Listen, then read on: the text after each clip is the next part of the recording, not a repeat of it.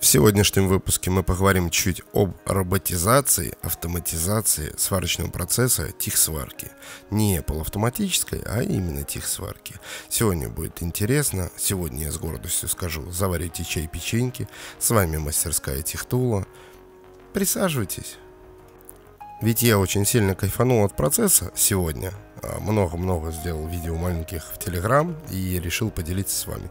Перед вами Сибора 340, но не просто 340, а 340 робот. В чем отличие от обычной 340? То, что у нее стоит плата управления механизмами подачи, роботами и так далее. То есть у нее дополнительное меню. И в данном случае мы будем управлять механизмом подачи проволоки. Выглядит он вот так по факту обычная полуавтоматная система последних поколений с быстросъемными роликами и так далее, а, с своим ну, датчиками промотки и так далее. Но они могут управляться от сварочного аппарата. Также сварку мы будем производить на вращателе от Михаила 3D а, второго поколения, версия 2.0. Он уже его выкатил в продажу. Можете ознакомиться у него в Телеграме. Ну, скоро я сделаю обзор на него полноценный. Механизм подачи крепится к любой горелке. В данный момент я его приколхозил к Паркер 18 серии, потому что я сварить буду на 220 ампер.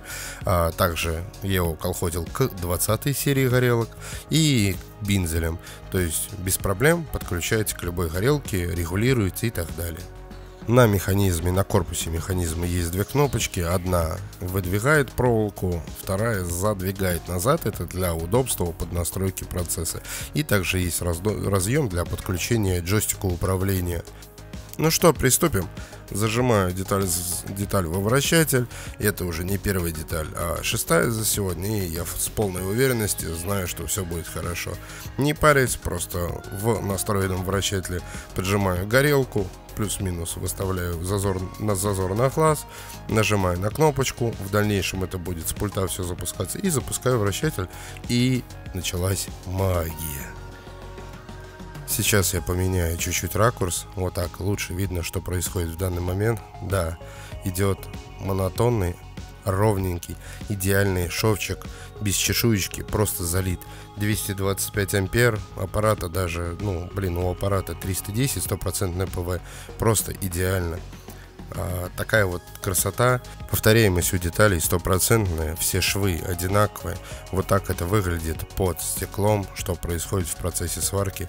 То есть а, идет вот дуга, сейчас я вот камеру перестану качать. А, горит дуга, подается постоянно проволочка. Я на синхронном режиме сейчас сварю чуть подальше, я об этом расскажу. И просто происходит процесс переплавления. Настраивать сейчас кто-то скажет, что тяжело настроить. Нет, ребят, для тех, кто хотя бы чуть-чуть сваривал на производстве. Да, это штука для производства, потому что стоимость ее на май 2023 года это 1,1 миллиона и 66 тысяч вращатель хотя бы чуть-чуть, если сварщик сваривал на производстве и знает така, какими он работает, просто подставить объем подающей проволоки. И все, ничего сложного в этом нет. И результат просто удивит. Ну, человек это все-таки усталость, а здесь машина. Меня зовут Иван, и это мой YouTube канал. Не забудьте поставить лайк, подписаться на канал и не забудьте поставить колокольчик, чтобы не пропускать новые выпуски. Также меня можно найти ВКонтакте, в Телеграме, ссылочки в описании. Это мой канал, моя рубрика «Чиним пилим». Поехали к выпуску. Чуть-чуть поигрался с настройками, и вот такая красота разная у меня получилась. Кому какие швы нужны. Но, кстати, как вы считаете, какой из швов получился самый красивый? Из первой, второй, третьей сверху вниз напишите в комментариях. Кстати, да, я директор тульского филиала Чебора. Я вам могу помочь с покупкой этого сварочного аппарата. Вы можете мне позвонить, и я все подскажу, расскажу также с настройками. Соответственно, чуть-чуть пробежимся по сварочному аппарату. А, это обычная 340 на которой можно сваривать также и вручную, как мы привыкли на любом ну, трехфазном, однофазном сварочном аппарате есть импульсный режим, есть переменный ток для сварки алюминия. Не просто, а, ну, то есть полноценный с амплитудами, формой волны. Ну, на 340 проще посмотреть обзор. В этом аппарате есть все. Но помимо этого, есть такая маленькая-маленькая штука, которая меня очень удивила, я постараюсь, что в ближайшее время она появилась на канале. Это вот это, параметры плазменной сварки. Сюда можно доустановить плазменную сварку. Но пока что этого нет. Мы заходим в параметры а, подающего механизма, выбираем режим. В данный момент это будет синхронный режим. А, что здесь есть? Механизм запуска автоматический, то есть когда я нажму на кнопку, он подключится. Внешне это с пульта. А, высокая скорость это объем подающий, ну, сколько вы будете подавать проволоки. Мне было комфортно на, на 2,8 метра. Низкая скорость это скорость возврата, если мы сварим на импульсах.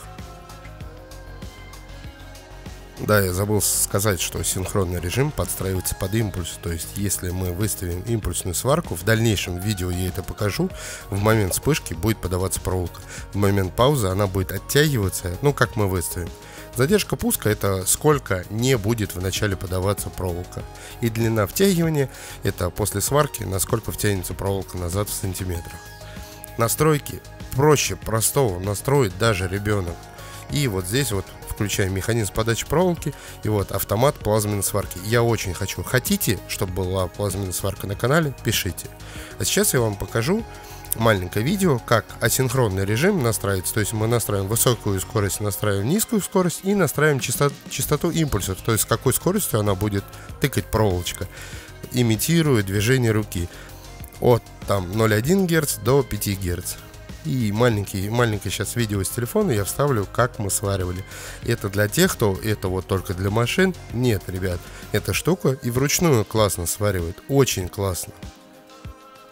Ну и в завершение выпуска, ребят, если хотите, чтобы я посваривал вручную алюминий на этом источнике с подающим, а, пишите в комментариях вообще, что вы хотели бы, чтобы я сварил на этом источнике.